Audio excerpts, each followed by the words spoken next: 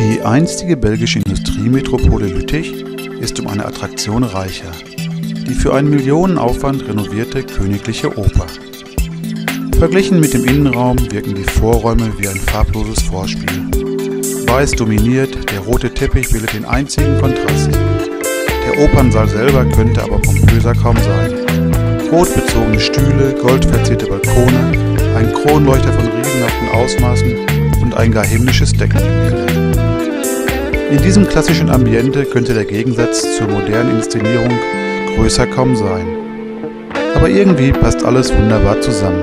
Man zeigt in Lüttich, dass man mit anderen Opernhäusern in der Welt mithalten kann und will.